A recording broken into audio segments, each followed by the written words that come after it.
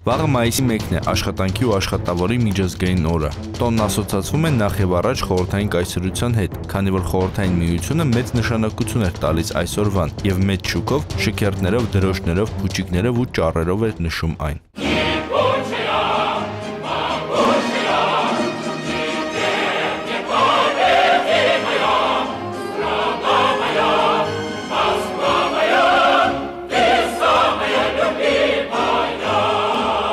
Ճիշտ է, Հայաստանում մայիսի 1-ը ոչ աշխատանքային է, պաշտոնապես ճանաչված է որպես պետական տոն, բայց դժվար է այն տոնական անվանելը։ Ոնց մայիսի 1 անեն, գնացել են Սինդրի քաղեն, որ բերեն ցախեն իրանց մապապիրոզարնեն։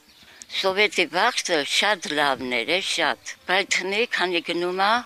վատանում է։ Ինչ որ մարդիկ հիմնականում նախկին կամ ներկա կոմունիստներ փորձում են Երևանում շքերթ կազմակերպել, որն ուղեկցվում է հին եւ նոր կարգախոսներով, ամենակարևորը հին առոգանությամբ։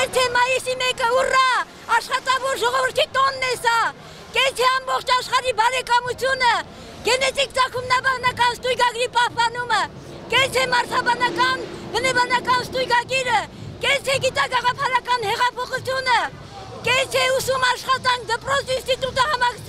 Մայիսի 1-ի ոչ տոնական լինելու առաջին պատճառն այն է, որ շքերթը կազմակերպող եւ նրան մասնակցող ուժերը մոռանում են օրվա բուն խորհրդի մասին եւ այն վերածում են արտաքին քաղաքական բովանդակությամբ ելույթների։ Պայքարում ենք ֆաշիզմի դեմ։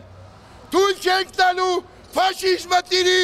նախկին սովետական միության երկրներում։ Մյուս ավելի խորքային պատճառն այն է, որ մեր երկրում առաջին հայացքից աշխատավոր չկա։ Ինչու՞, որովհետև աշխատավորը չենք տեսնում ոչ կինոյում, ոչ գրականության մեջ, ոչ երգում։ Իհարկե կարելի է միայն զարմանալ, որ հայ իրականության մասին պատմող սյուժեներում, օրինակ բազմասերիանոց ֆիլմերում, ով է այդ բոլոր տանջվող, խափող եւ դանդաղ մտածող մարդկանց պահում։ Բայց փաստը մնում է փաստ, որ առավոտյան աշխատանքի գնացող, աշխատող եւ աշխատավարձով ապրող մարդու հնարավոր չէ տեսնել։ Ավելին, աշխատավորին կարելի է տեսնել միայն լրատվական թողարկումներում։ Այն էլ հիմնականում այն մասին, որ աշխատանք չունի, վարկերը չի կարողանում վճարել, հույս չունի, տուն չունի, մի խոսքով դժբախտ է։ Տվել է մնում է մոտավորապես միլիոն ու կես վարկ, որը որ մի չեմ կարամ տամ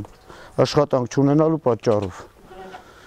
Մնացել եմ այս դոմիկը, ինձ տուն չեն սարքել, Այնինչ բարեկեցության հավակնություն ունեցող պետության համար ավելի կարևոր բան չկա, քան աշխատող մարդն է, որովհետև նախ բոլորի բարեկեցությունը ստեղծվում է յուրաքանչյուրի աշխատանքով, երկրորդ ստեղծող մարդը միշտ էլ երջանիկ ու ինքնաբավ է։ Հետևաբար մայիսի 1-ը թեև հին հիշողությունները ի հայտ բերում, այդուհանդերձ Հայաստանի ամենից կարևոր տոներից մեկն է։ Գևորգ Մինտերյան, Սուրանկյուն